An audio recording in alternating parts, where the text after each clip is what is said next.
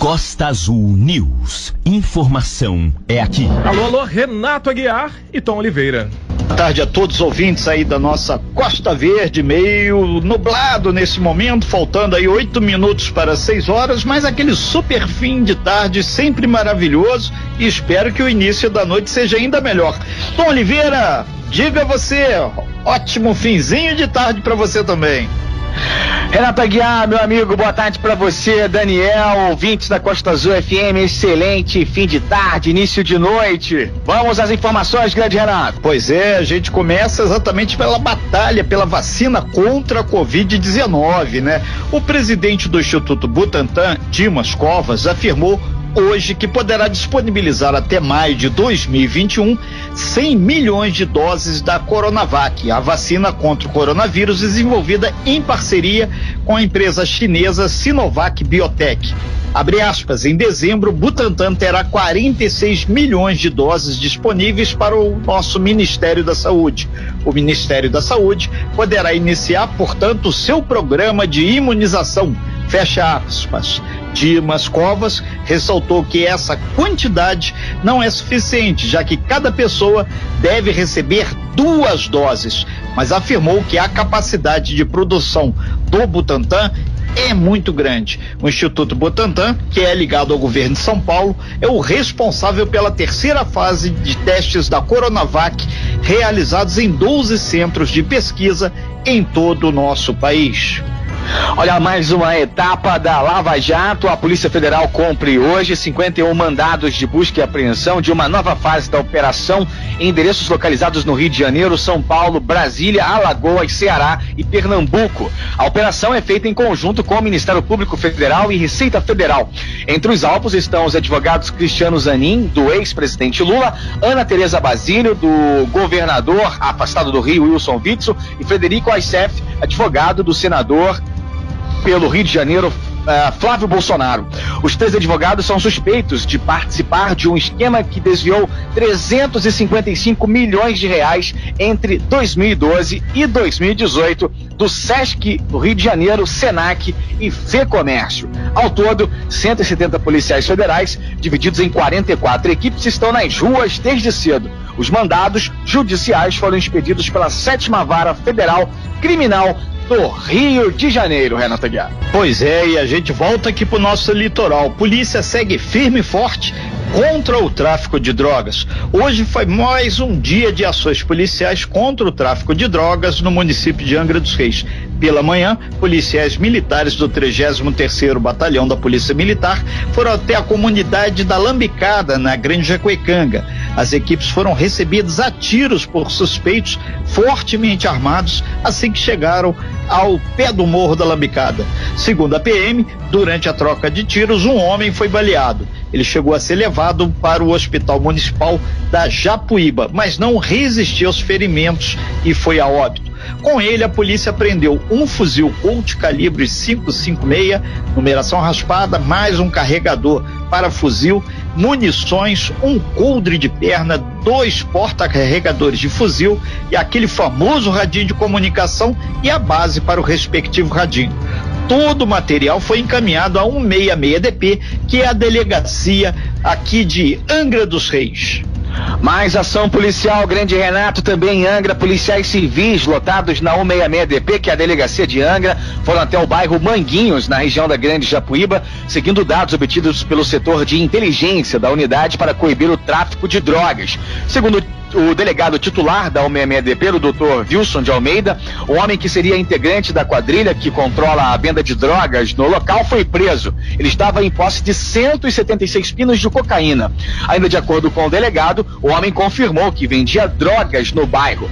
A 166DP, a nossa delegacia em Angra, tem o um número de WhatsApp onde o cidadão pode fazer denúncias anônimas. O número é o 999 35 17 47. Repetindo, 999 35 1747. O sigilo é garantido ao denunciante. Inclusive, hoje no programa Talk Show, conversamos ao vivo com o delegado Wilson de Almeida sobre essas operações e a importância da integração entre as polícias. A entrevista você pode conferir no costasofm.com.br e também no programa Talk Show na sua plataforma de podcast preferida.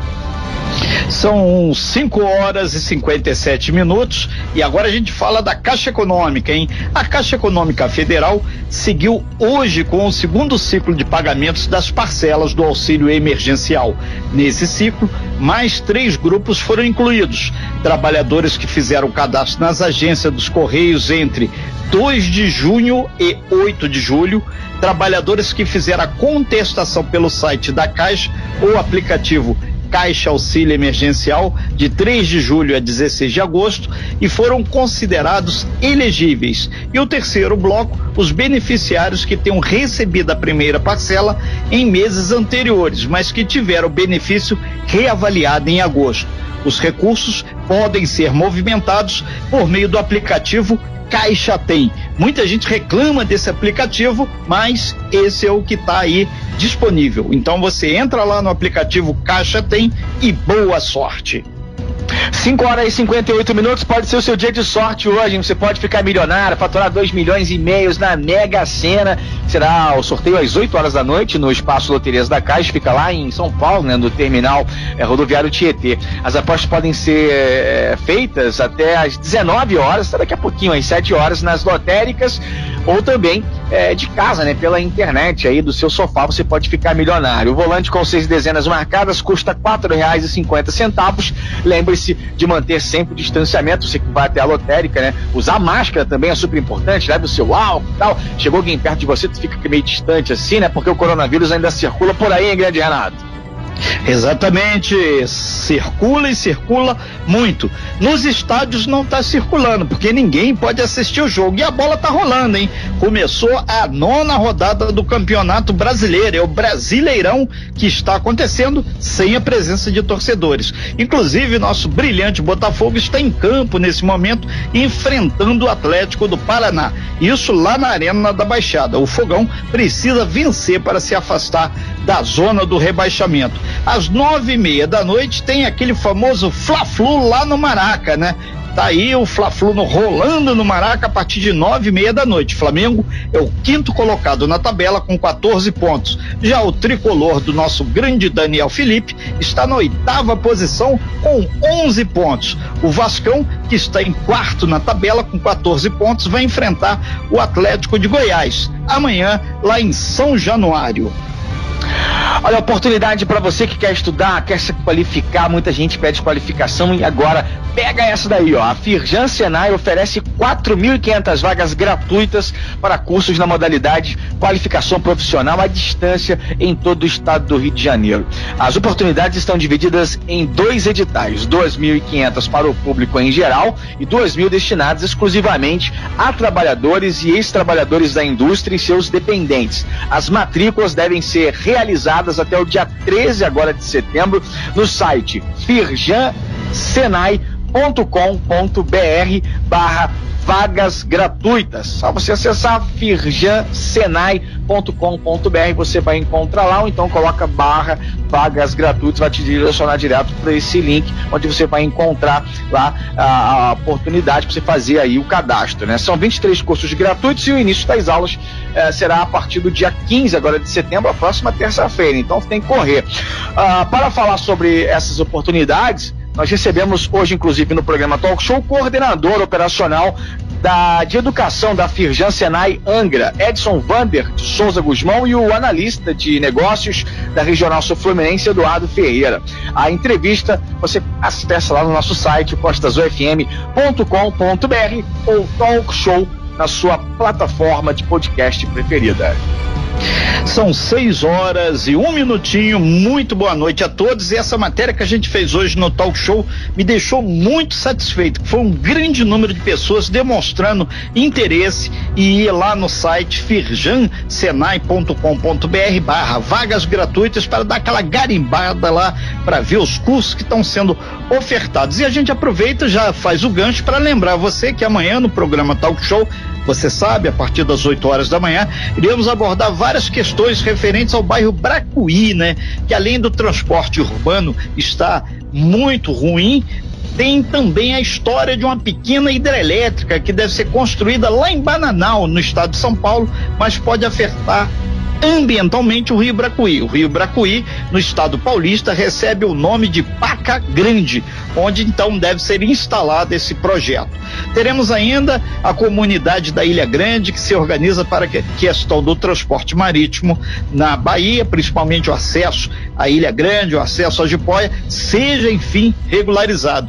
E vai ter uma participação diferenciada, será do presidente da FOCAR, Associação dos Fotógrafos de Angra dos Reis, que irá no anunciar a abertura no Instagram da sua 31 primeira exposição de fotos e seu sócio. Vai participar da entrevista Paulo Werneck, que vem a ser o presidente da Focar. Ou seja, o talk show muito cheio, muito variedade e o foco é o quê? Bairros da região.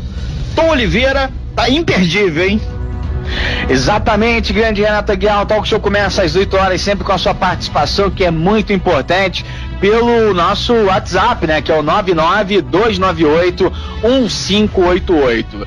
O Tribunal Superior Eleitoral, TSE, divulgou as regras de conduta para as eleições municipais de novembro em meio à pandemia da Covid-19. O uso de máscara será obrigatório. Quem chegar ao local de votação com o rosto descoberto será impedido de entrar. Também não poderá votar o eleitor que se recusar a higienizar as mãos antes e depois de usar a urna, já que o equipamento eletrônico em si não será limpo a cada votação. O TCE recomendou ainda que cada eleitor leve a própria caneta para assinar o comprovante de votação. As regras valerão para todo o país no primeiro e segundo turno, nos dias 15 e 29 de novembro. Os locais de votação ficarão abertos das 7 da manhã às 5 da tarde. As três primeiras horas serão preferenciais para pessoas com mais de 60 anos.